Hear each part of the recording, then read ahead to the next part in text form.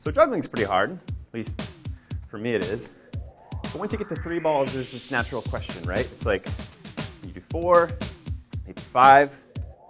What's the limit? This guy definitely knows. Hi, I'm Alex Barron, and I hold the world record for most balls juggled. That's 11. And I also hold the world record for something called most balls flashed, and that's 14. That's right, Alex has flashed 14 balls. A flash just means throwing a certain number of balls in the air and catching that many balls in sequence one time. Here he is flashing 13 balls. But is 14 balls the limit? Today we're going to look at why juggling 15 balls might be almost impossible. To learn what it takes, I got a lesson from Barron. It's close. talked with a juggling pro about the patterns and science that make it possible to keep so many balls up in the air, and with someone who doesn't even have to see the balls to juggle. People have been juggling for millennia. This Egyptian painting of women juggling is nearly 4,000 years old. And it's always seemed like a bit of magic. Even three ball juggling is mesmerizing to watch.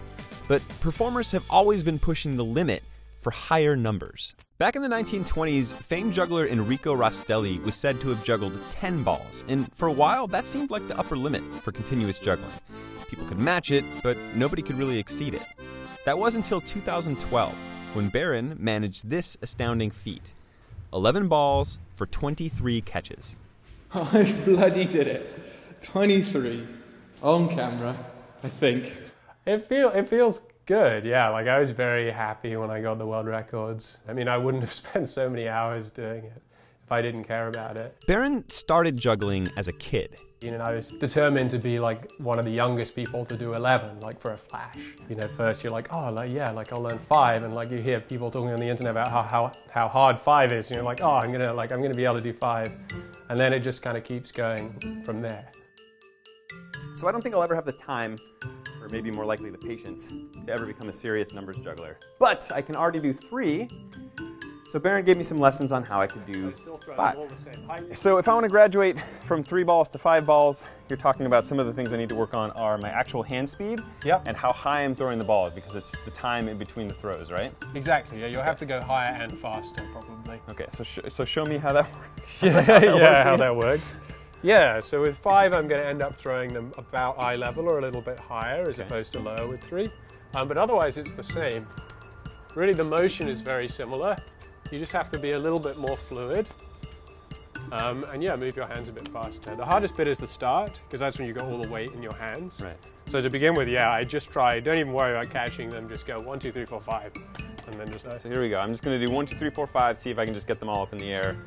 Or if I can throw the last ball before the first one comes down. Right? That sounds Perfect, right? yeah, All right, so exactly. go one, two, three, four, five. Even faster would That's be That's pretty good. Yeah, and if it goes really well, what you want to see is two little piles, one for each hand at the end Oh of it. man. before. All right. But you can try and catch them now too. That's just to get. I just want to see if I can get the speed again. So we got one, two, three, four, five. Yeah, it's pretty good. And now try and catch. And I've got five piles. I managed to pull off a lucky flash when the cameras weren't rolling, and I'm still working on doing it continuously. Like, really working on it. yes. Oh, it's close. These days, five is just a warm up for Barron. He can do seven without much trouble and makes it look effortless. But when he starts going for big numbers, like 9, 10, 11, all the way up to 14, he usually heads indoors to a squash court. We're outside right now. Yes. It's a little windy. That has something to do with why you practice in squash courts. Yes. Well, wind obviously is going to mess up your pattern a little bit. You want the balls to have a very consistent trajectory every single time you try. Um, and the squash courts have really good contrast too, because it's basically a white background, so typically it's much easier to see. And even though you're not looking at one ball in particular, your subconscious is still taking in where they all are in the sky and where they're coming down. So Keeping an eye on the balls at the top of their arc, or apex, is critical for Barron's big numbers. you look vaguely at the apex of the pattern, and then from that you have some sense of what the pattern looks like, whether it's slanted, off kilter. There's not like me registering each throw and going, oh, that was a good one, that was a bad one. I guess I do think that was a bad one. If I do a bad throw, I typically notice that ball in particular. But that's not the only way to juggle a lot of balls. My name is Zak McAlister. Uh, I hold three different records for BBB, which stands for Blind Behind the Back Juggling. I hold the record for doing it five, six, and seven. McAlister doesn't have to look at the balls at all. He feels for their apex. I'll start with them behind the back and I'll make my first throw. And once the throw is made, then I wait to feel it hit my elbow. And once I feel that, then I know it's ready for the next ball. Usually in my head, I'll feel out, be like, okay, at this point, when I feel this, I need to make this next throw. Once I feel it coming down to my wrists, then I know that uh, I need to open up my hand and have it ready so that way it can make the catch. It is crazy impressive. But McAlister thinks he's at the numbers limit for blind behind the back. As you increase each ball, you start to realize I'm running out of space on my back. And uh, four balls isn't too bad, but once you hit five balls, then you're starting to realize like I need to it, either like start making my throws a little higher than my elbow, which is not ideal because then it's even more blind and I have to think about it even more, which takes up to like seven. So you just have to hope that they all work out. Traditional numbers jugglers don't have that kind of limit. In fact, the sky is literally their limit. But it seems like there are physical barriers to getting more balls in the air. Let's talk about 15 for a second, for example, just for the, for the flash. I do think there's a physiological barrier there where someone will have to train very, very specifically for flashing that number. Doing 15 is going to require a level of strength which is considerably beyond what I have at the moment. To learn more, I talked with Jack Kalvan. He's a professional juggler and former engineer, and he's writing a book on human performance and juggling. Kalvan has been measuring juggling hand speed with an accelerometer and a smartphone app, so naturally, we asked Alex Barron to try it out. I juggle three balls in a comfortable cascade pattern. First, Kalvan had him juggle progressively higher numbers of balls, Do you want to try a run of nine? and then he had him try an absurdly fast air That's juggle. so unrealistic. Perhaps, not surprisingly, Barron topped Kalvan's charts. balls. According to his maximum hand speed, when he shook his hand as fast as he could, it was equivalent to juggling 23 to 25 balls. so he's actually nowhere near his limit according to his hand speed. That's crazy. But according to Kalvan, speed is not the only limit when it comes to numbers juggling. Basically, what I found is that hand speed is not the main limiting factor of, of juggling, it's actually the accuracy. There's a few different degrees of accuracy, but the, the first degree would be able to throw something up so that it lands within reach. The other is, uh, is the space that you have in the air and having to avoid collisions between objects. Of course, I wanted to find out how I stack up, so I strapped on the accelerometer There you go. We have three ball data here. Okay. Want to do two in one hand? Yeah. So there's a couple ways to do this, right? You can do it in columns. Yeah. Is that right? Yeah, yeah. So You put the balls down and shake your hand as fast as you can. And it- Faster! Come on, faster! You can go faster than that! Is that all you got? That's all I got. Come on! Okay, that's good. And according to Kalvan's calculations, Your maximum amount was 14.1 balls. Sweet. So, so if I practice really diligently, I could maybe flash the 14. That... You could. You have the hand speed to flash 14 balls just like Alex. Okay. But uh, you probably don't have the accuracy. dearth. so I'm still working on five, but it's nice to know that I have the hand speed to do more than that if I keep practicing. In fact, according to Jack's research, most people probably have the hand speed to do as many as nine. I'm actually a professional. Nope. So hand speed is definitely a factor to consider here, but here's another big one. How do you even hold this many balls? Jugglers call it the grip. So yeah, in terms of the grip, uh, we start off just a very simple one in each hand.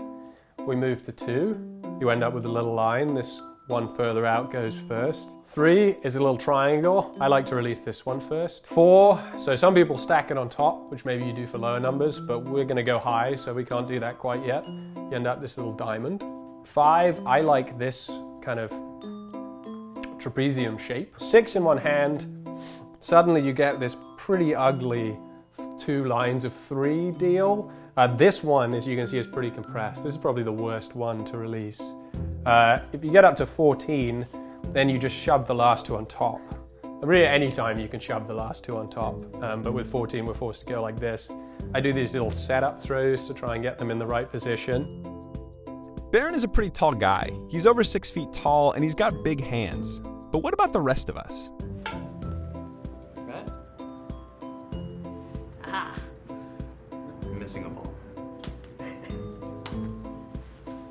Don't think my hands are big enough for this.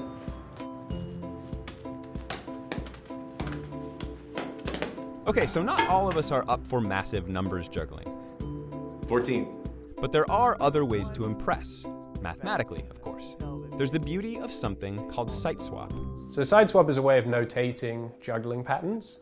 So you can throw balls at different heights when you juggle. And the way jugglers typically denote those different heights is they do it based on how high you'd have to throw to juggle a certain number of balls. So for three balls, I can do it like really low, like this, right? If I pick up five balls, just because there are more balls, I've got to throw it higher to do the same thing. So what site swaps lets you do is combine throws from different numbers of balls, and you just call those throws the number of balls. So a simple one, for example, with four balls would be something called five, three, four. And so if I was just doing four, right, they all go the same height. So this is lots of fours over and over again. What I can do is I can throw one ball higher to be a five, and then one ball lower to be a three, and then go back to four. So that's like five, three, four. You can see there's a five ball throw and a three ball throw. And then you can either do five, three continuously, or you can mix it up. And yeah, what's fun about that is now, if you want to tell your friend, hey, I found this great new juggling pattern, you just give them a list of numbers, and then they can do it. Or they can try and learn it at least. Site swap can even be a way to practice juggling greater numbers, according to Kalvan. Site swap is a way that you can that, that some people practice higher numbers using a lower number of balls. Uh, in this pattern, you're actually throwing, one hand is doing the work of five balls. One hand is, is, is doing exactly is doing half of a five ball pattern. And the other hand is doing a one ball pattern, which is just that. That's useful because practicing big numbers can be a serious workout. the raw physical act of it, like the speed at which you have to move your hands, the amount of weight that you have in your hands at the beginning, is on a different level. People tend to see in the juggling world going from an even number to an odd number as being substantially harder than going from an odd number to an even number. With even numbers, you can throw them in pairs, which means you can get your whole body involved. Uh, with 15, you'd have to do it asynchronously. The biggest question mark for me is probably whether someone has the physical ability to practice 15 enough to be able to do it, or have enough attempts to be lucky enough to catch 15 balls, because of course there's like luck involved. Between the practice needed to perfect technique and the strength and speed required to keep the balls in the air, Barron thinks his record will stand. But he's eager to see it challenged. Yeah, like, do I think someone will ever do 15 for a flash? I like to think someone will do 15. I mean, I, I, you know, you compare this to like the 100 meter sprint or marathon or something where countless people have optimized themselves as hard as they can and trained for it. I think there's there's more to go in, in juggling for sure. I don't know what if that's within my personal limit, but I, I'll intend to find out over the next 10 years or so. Beyond that, I mean, yes, I think there is a physical limit at some point, right? And for me, it's hard to conceive of juggling 16 or 17 or flashing 16 or 17 balls. Maybe I should say that 15 is impossible, and then some guy will come along and be like, or some girl and be like, no, like, screw you, like, I'm gonna do it. So I've been practicing a few minutes every day, and every once in a while I will get lucky and flash five. And I finally managed to do it on camera. Yeah! Oh, so there's hope. But it's not like I'm ever to challenge somebody like Barron. And that's totally fine, because what he's doing is already almost impossible.